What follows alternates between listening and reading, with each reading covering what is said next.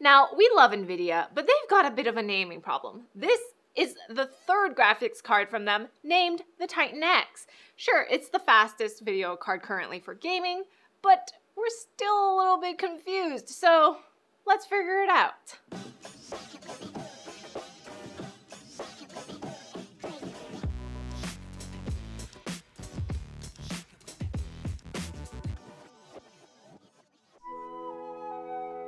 Working across multiple computers is a messy process. It's way too easy to click and type on the wrong system, which can cause unnecessary stress and frustration. But we found a solution Synergy.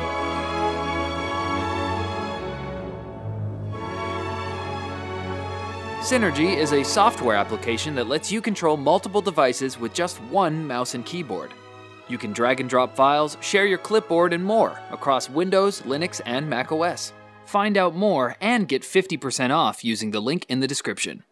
In 2013, NVIDIA released the world's fastest consumer graphics card. It was called the GeForce GTX Titan. It dominated everything else in games and even had double precision floating point operations, rivaling Quadro cards. Then, in 2014, they released the Titan Z, or Titan Z, which was effectively two Titan chips crammed into one card. Again, the fastest single card on the market. Jump forward another year, and in 2015, the GeForce GTX Titan X was released. Again, the single fastest card on the market. Jump forward yet another year, and in 2016, they released the NVIDIA Titan X.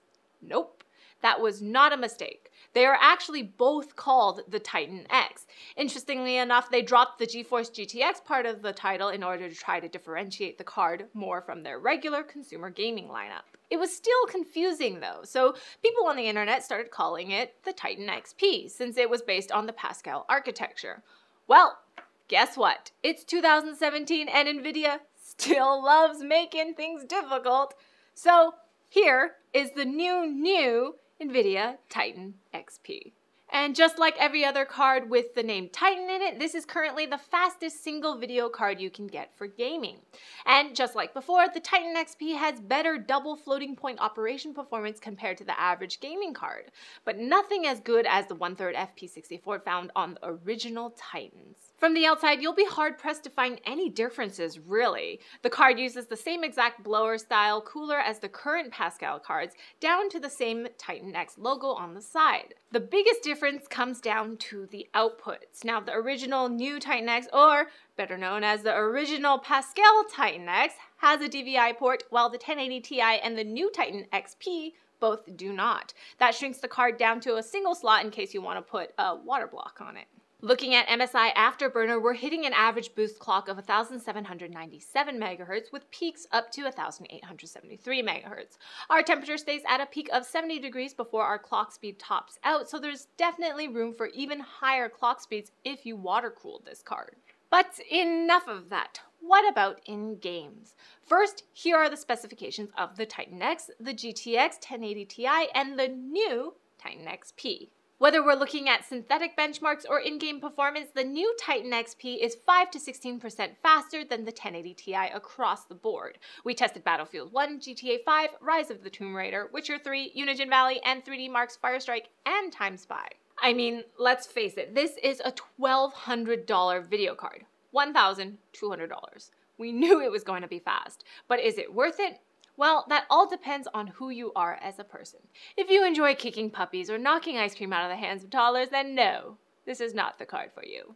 But then again, nothing is for you because you're horrible.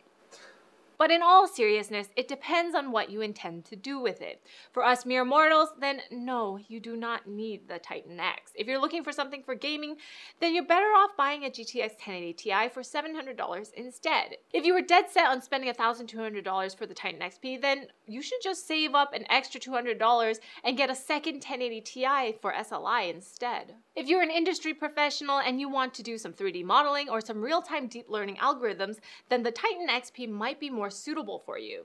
Many applications do not support multiple graphics cards, so you want to use the single fastest card that you can. While it's nowhere near as fast as an equivalent Tesla card for pure computing power, the Titan XP still lets you game. And that brings us to our conclusion. The original Titan was a very special card that bridged the gap between consumer gaming graphics cards and workstation graphics cards. It had very good computing power and the best gaming performance all in one card.